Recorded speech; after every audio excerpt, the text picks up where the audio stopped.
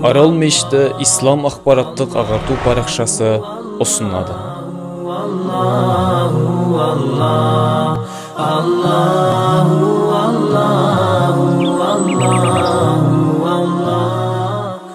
пайғамбар оған алланың игілігі мен сәлемі болсын өмірінен дәрістер топтамасы ұстаз нұрсұлтан нұрсымағамбетұлы بسم الله الرحمن الرحيم أحمد الله رب العالمين صلاة وسلاما على المبعوث الأمين محمد مصطفى صلى الله عليه وعلى آله وصحبه وسلم أما بعد السلام عليكم ورحمة الله وبركاته өткен сабағымызда пайғамбар саллаллаху алейхи уассаламға жасаған құрайш ақсақалдарының ақсүйектерінің мүшриктерінің зәбірлері туралы өтіп жатқан болатынбыз. Сол кісілердің ішінде біз ақба ибн әби муайт деген өте атақты белді меккедегі ақсүйек кісілердің бірінің пайғамбар саллаллаху алейхи уассаламға жасаған қиянаттары туралы айтқан болатынбыз. Және бұл кісінің істеген тағы бір қиянаты енді екеуі бірлесе істеді деп айтса болады. Мына амр ибн хишам мен ақба ибн әби муайт не нәрсе істеді пайғамбар саллаллаху алейхи уассалам бір күні қағбаның жанында намаз оқып жатқан кезінде бірақ әлі бес уақыт намаз парыз етілген жоқ намаз оқып жатқан кезінде пәленшенің үйінде түйенің жаңағы түйе сойылып жатыр соның ішек қарнын кім келіп мұхаммедтің сәжде қылған кезінде үстіне қояды дейді ғой. Сол кезде өзінше мақтанып оқба ибн әби муайт мен қоямын деп. Болады ғой сондай? Адамдардың ішінде болады ғой кім істейді? Мен істеймін бүйтемін сөйтемін дейтіндер. Дәл сондай сипатта келді де мен қоямын деп айтты дейді. Сонымен пайғамбар саллаллаху алейхи уассалам сәждеге барған кезінде жаңағы ішек қарынды боғымен қосып әкеліп түйенің пайғамбар саллаллаху алейхи вассаламның үстіне қойып қойды. Немесе ақтарып жіберді десек те болады. Сонымен пайғамбар саллаллаху алейхи сәждеге барғаннан кейін тұра алмай қалды жатып қалды осылай. Бұл оқиғаны айтып жатқан адам атақты ұлы сахаба абдулла ибн масуд абдулла ибн масуд пайғамбар саллаллаху алейхи вассаламның ең ұлы сахабаларының бірі. Ол кісі туралы ертең кейін қайтадан тоқталамыз иншалла. Сол кісі айтады ғой мен қасында отырмын дейді пайғамбар саллаллаху алейхи вассаламның қасында отырмын бірақ мен еш нәрсе істей, істей алмай жатырмын дейді. Соншалықты біздің әлсіздігіміз мен қыбырлай алмадым дейді пайғамбар саллаллаху алейхи жанында. Өйткені бұл әлі мұсылмандардың күшке қуатқа енбеген кезі. Абдулла ибн масуд неге бұны айтып жатыр? Өйткені ол кісі құрайш мүшриктерінің қойын бағатын адам болған. Демек яғни қарапайым қатардағы мұсылман болған. Бай ақсүйек болмаған. Сонымен жаңағы ішек қарында ақтарылып жатқан пайғамбар саллаллаху вассаламның үстіндегі кім алып кетті? Қызы келді де фатима. Пайғамбар саллаллаху вассаламның кенже қызы фатима келіп үстінен алып әкетайым осыншалықты қорлық көретіндей не істеп қойдың? деп пайғамбар саллаллаху алейхи үстіндегі жаңағы боқтықтардың барлығын сүртіп тазалап жылады дейді. Бұл әрекет кімге ұнамай қалды? Абу жәһилге ұнамай қалды. Абу жәһил бұған не істеу бірдеңе істеу керек деп айтты дейді да іштей. Сондай нәрсе түйіп қалды іштен. Мына қызға бірдеңе істейміз деген нәрсе. Иншалла оған келеміз. Мінекей өйстіп пайғамбар саллаллаху алейхи уассаламның сәжде қылған кезінде осы атақты оқиғада барлығы біледі бұл оқиғаны. Үстіне келіп боқты аударған кісі түйенің ішек қарнымен қосып осы оқба ибн әби муайт деген құрайыштың мүшрик екен. Одан кейінгі пайғамбар саллаллаху алейхи уассаламға зиян келтірген жап жас жігіттер аналар. Екеуі де жап жас жігіттер. Нубай және мунаббих деген хаджаж деген кісінің екі ұлы. Екеуі де жап жас жігіттер келіп айтады дейді ей мұхаммед аллах тағала сенен басқа пайғамбар таппай қалды ма? деп айтады дейді. Сенен де басқа күшті адамдар бар ғой дейді да. Меккеде бізде уалид ибн мұғира бар. Таифта урва ибн масуд бар ас сақафи неге сен аллах тағала таңдап алған? Сенен де құрметті сенен де жасы үлкен бізде арамыздағы сыйлы кісілер бар ғой ей мұхаммед деп айтты дейді және бұл кісілердің тағы бір пайғамбар саллаллаху алейхи вассаламға жасаған ауыртпашылықтары тілдерімен келемеждейді екен бұлар ертең парсыларды алады бұлар ертең римді алады бұлар ертең осы діннің барлығы басқа ана жаңағы әлемнің әр тарапына тарайды деп сахабалар мен пайғамбар саллаллаху алейхи отырған кезінде мазақтайды екен келіп осылайша бұлар иманға келместен дүниеден өтті. Кім өлтірді бұны? Али ибн абу талиб бәдір шайқасы күні мына нубайхты дүниеден өлтірген жаңағы шауып өлтірген екен. Бәдір шайқасы күні али ибн абу талиб нубайхты өлтірген екен осылайша бұлар кәпір күйінде кеткен екен енді бұлардың айтып жатқан сөздерін қазіргі қоғамда айтып жүрген адамдар бар мыналардың айтып жүрген сөздерін бар ғой бірақ кейіпкері мен сөзінің арасындағы кейбір нәрселер өзгеше бірақ тура сол мағынада айтады не деп айтады неге арабтан шыққан дейді пайғамбар неге біз арабтың артынан еруіміз керек сонда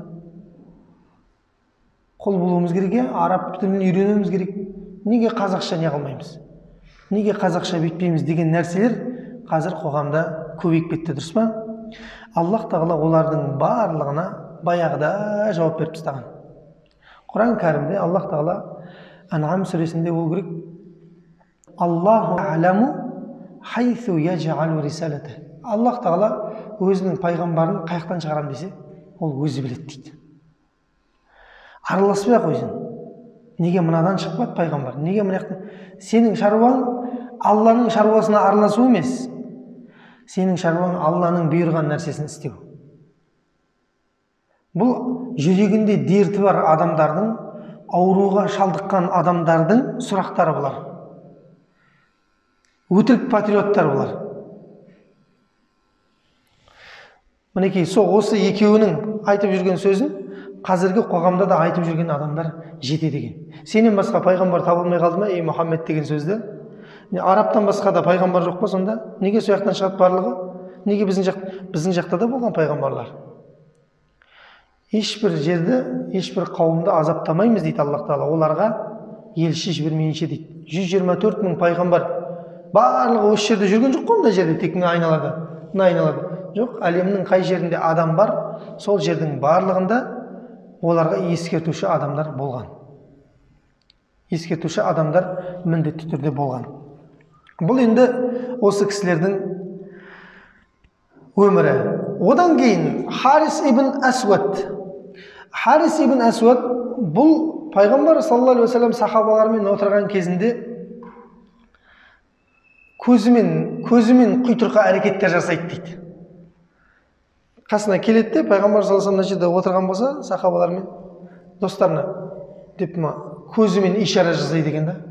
Көрдіңдер ма мыналар деген сияқты ше? Көзімен ишара жасайды да айтады дейді. Мыналар парсылар мен римнің байлықтарын иеленеміз деп жүр. А ха ха ха деп күледі дейді мынау. Қасындағылардың барлығы оған шапалақ ұрады дейді шапалақ ұрады. Деп ысқырады дейді жаңағы кісі.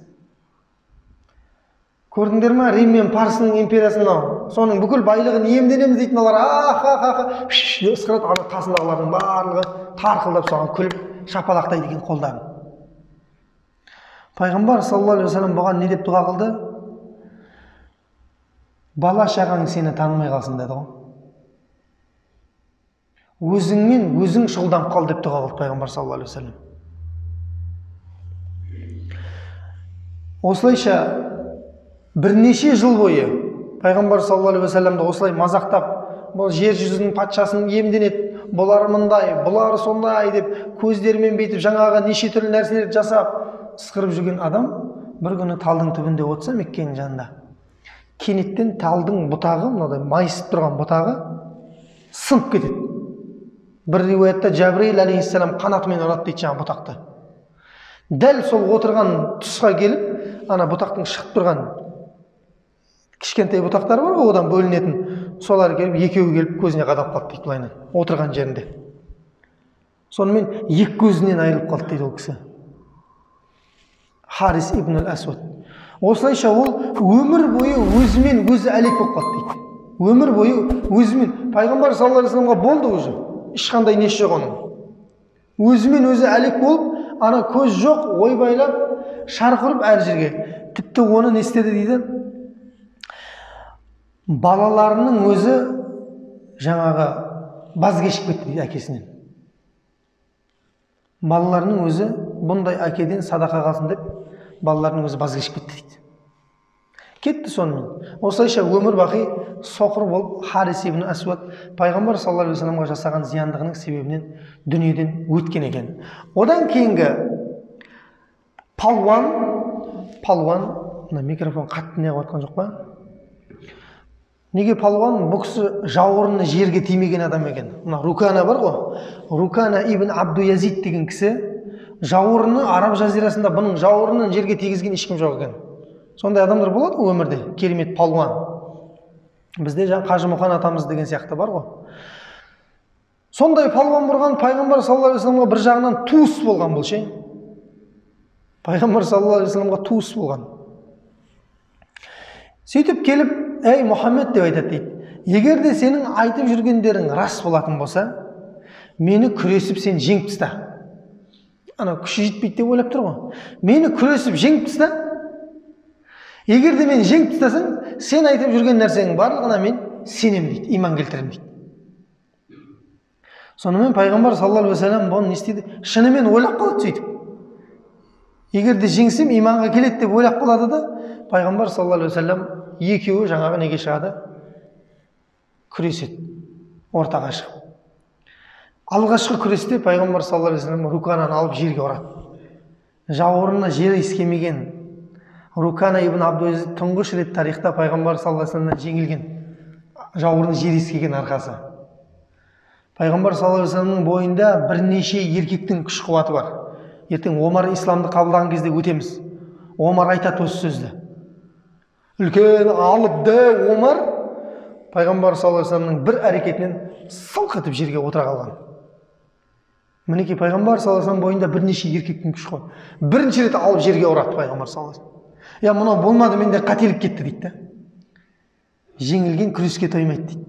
Екінші рет көрейік дейді. Пайғамбар екінші рет алды да тағы да жауырынын жерге тигізіп жатыр әшейін құлап тастап жатқан жоқ. Жауырынын жерге тигізіп жатыр үшінші рет тағы да жеңілді. Рукана ибн сол кезде не деді? Ей мұхаммед күшіңе сендім дейді. Енді соңғы бір нәрсе айтамын егер де осыны істеп берсең мен саған не істеймін дейді. Айтып жүрген нәрселердің барлығына иман келтіремін дейді. Айта ғой не нәрсе? Мына жанымызда тұрған талды дейді. Қасымызға әкеліп берші шынымен пайғамбар болатын болсаң дейді енді алла сенің айтқаныңды істейді ғой дейді. Сонда пайғамбар саллаллаху не деді?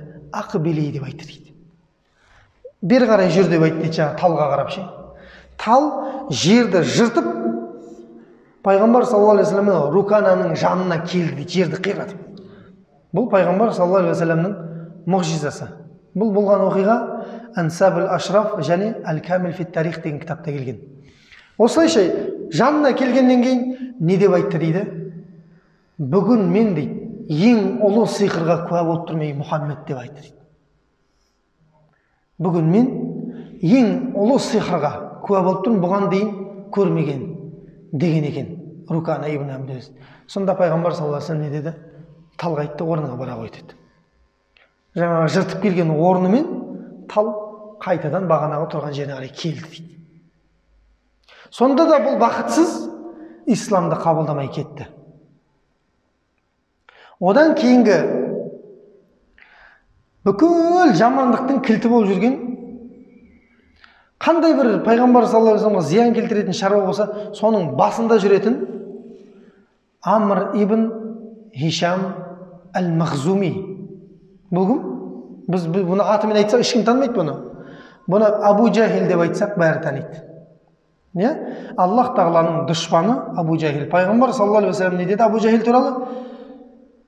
Біздің үмметтің фирауны деді абу жахилді абу жахил өлген күні бәдірде мынау деді біздің үмметтің фирауны деді яғни сондай қатты аллахқа және оның елшісіне және оның дініне зиян келтірген қарсы тұрған бүкіл күш құдіретін соған жұмсаған кісі абу жахил абул хакам амр ибн хишам әл мағзуми халид ибн валидтің тайпасынан екеуі бір тайпа жауынгер жігіттер барлығы бұл не істеді?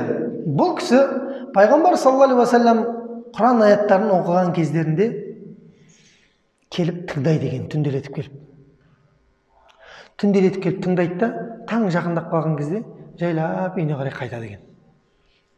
Ешқан мұның ақиқат екенін біліп тұрса да біліп тұрса да қабылдамастан қайтады екен абу жахил не деген керемет сөздер деп таңқалады екен да өзі. Бірақ қабылдамастан үйіне қарай қайтадан қайтады екен. Сонда аллах тағала не деді? Фәлә саддақа уәлә салла деді. Ол растамады да дейді. Алланы және оның елшісін растамады да уәлә салла намаз да оқымады дейді. Уәләкин кәззаба уәтәуәллә дейді. Алайда ол өтірікке шығарды дейді. Алланы да және оның елшісін де өтірікке шығарды. Уәтәуәллә және олардың барлығынан баз кешті дейді. Теріс айналған дейді алла мен оның елшісінен. Сөйтіп құранды тыңдап болғаннан кейін үйіне қарай таңғы салқынмен кердең басып кетіп бара жатады дейді. Үйіне қарай кетіп бара жатады дейді. Кердең басып.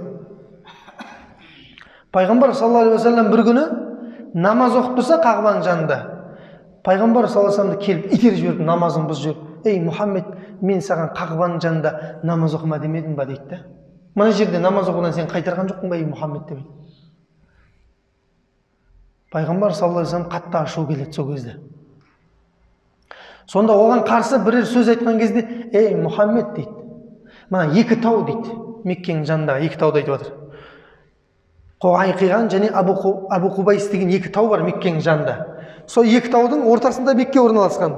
Сол айтады дейді ей мұхаммед мен сені қайтармап па едім? деген кезде не деді? Пайғамбар оған қарсы сөз айтқан кезде айтты сенің кімің бар? деді ғой ей мұхаммед сенің кімің бар? Мына екі таудың ортасындағы бүкіл жігіт дейді менің артымда тұр дейді. Қаласам сені жоқ қылып жібере саламын ей мұхаммед деп айтады екен. Шақыр ал сен кіміңді шақырасың? Шақыр ал деп айтады дейді пайғамбар саллаллаху алейхи вассаламға сонда аллах тағала құран кәрімде не деді?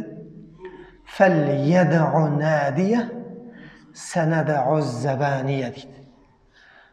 Ол шақыратындарын шақыра берсін дейді. Шақыратынын шақыра берсін абу жахил ал біз забанияны шақырамыз дейді аллах тағала айтады. Забания деген не ол?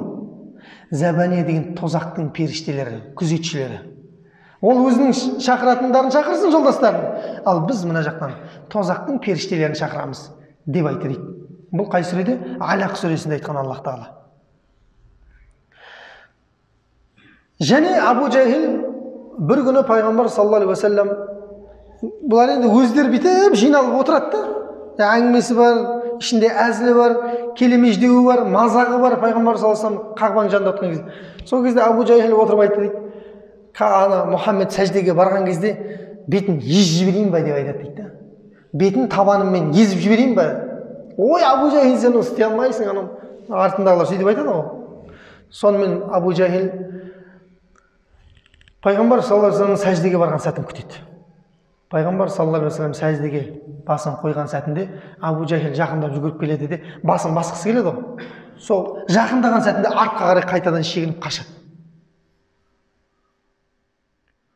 Сонда анау жаңағы жолдастарының барлығы күледі айттық қой саған істей алмайсың оны деп. Деген кезде не деді дейді?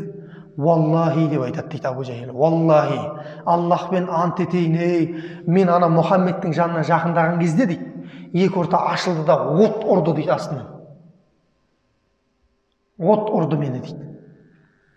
Отқа күйіп қалмас үшін ары қарай не істедім дейді қаштым дейді. Сонда пайғамбар саллаллаху алейхи вассалам айтты дейді ол жабриил алейхиссалам еді дейді.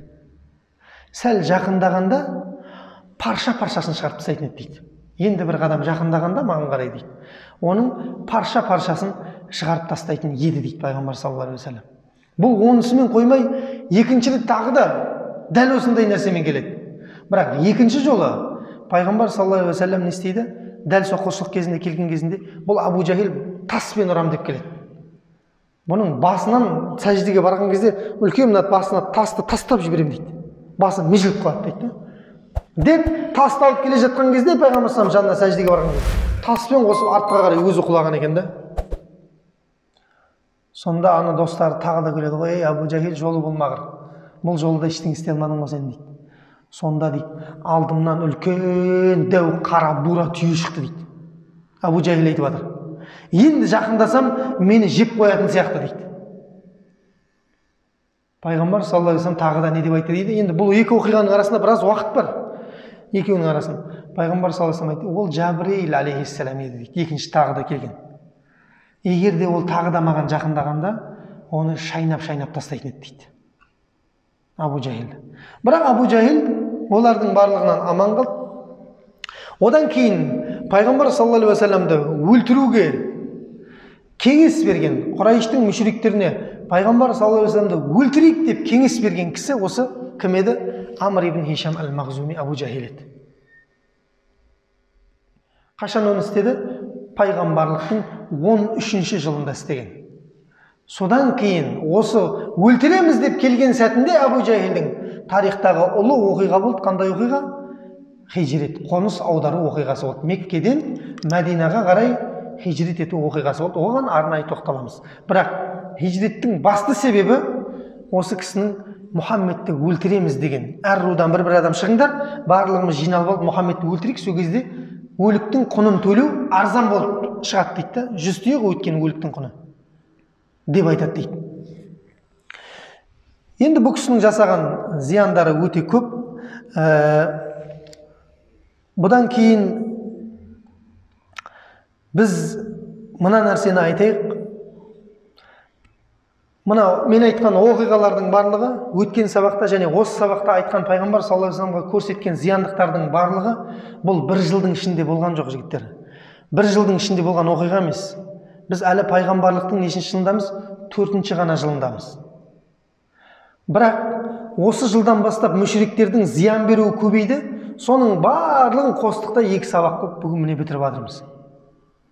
Ертең бұлардың барлығы мен айтып жатқан оқиғаның барлығы 13 жылға дейін созылған оқиғалар ғой. Біз әрқайсысына бір жеке кірместен бірден екі сабақ қылып өтіп жібердік. Енді бұлардың барлығы сол пайғамбар саллаллаху алейхи зиян көрсеткен адамдар. Мына нәрсеге тоқтады байна салих ізгі кісі мен қоғамды жөндейтін кісінің арасындағы айырмашылық дейді. Бұл не деген сөз? Пайғамбар саллаллаху алейхи уассалам пайғамбарлық келмей тұрған кезде меккедегі аты қандай еді?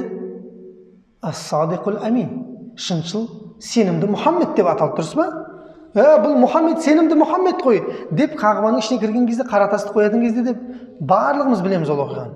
Пайғамбар саллаллаху алейhi келіп адамдар аманатқа заттарын тастап кететіндігін ол пәленбай жыл жататындығы қай уақытта келсе де оларға оны қайтарып беретіндігі.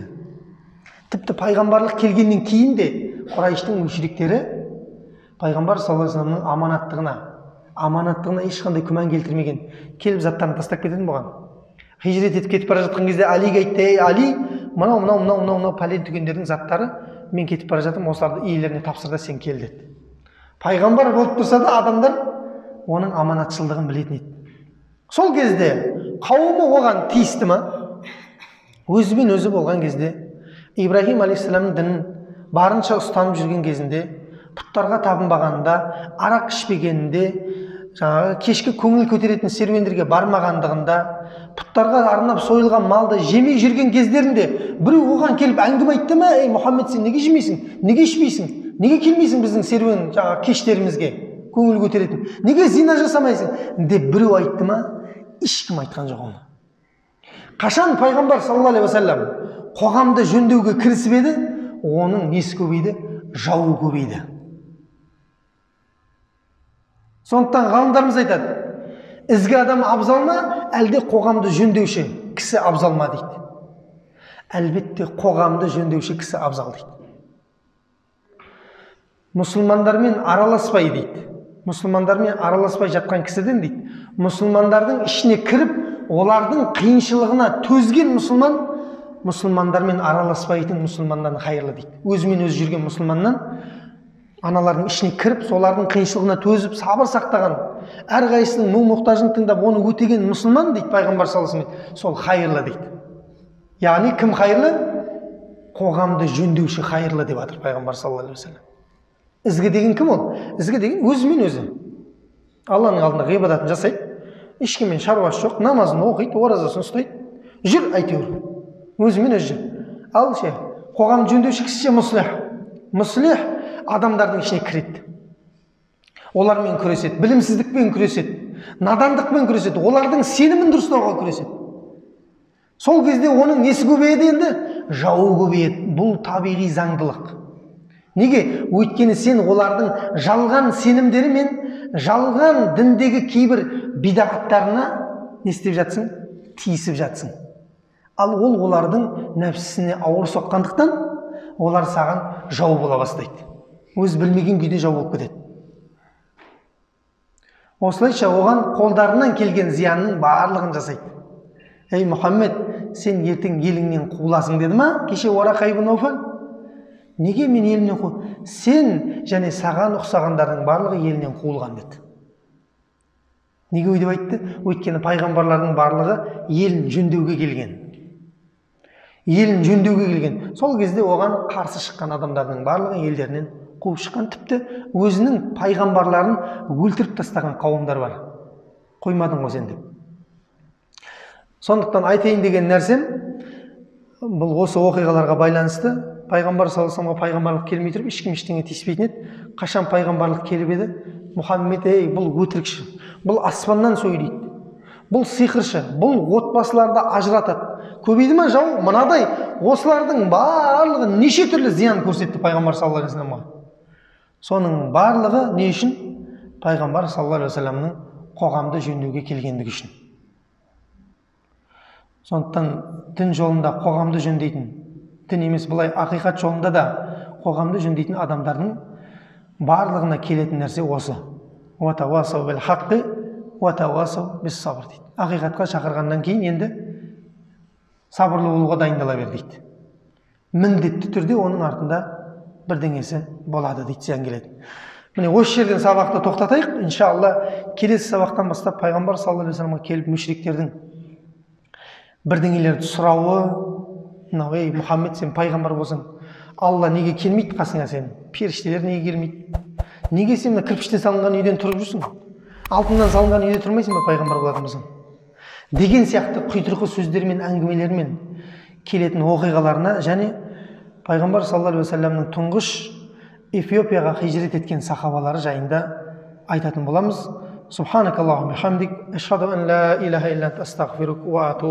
Алла разы болсын аллах тағала діннің дұшпаны емес дінге көмек беретін адамдардан болуды баршамызға нәсіп етсін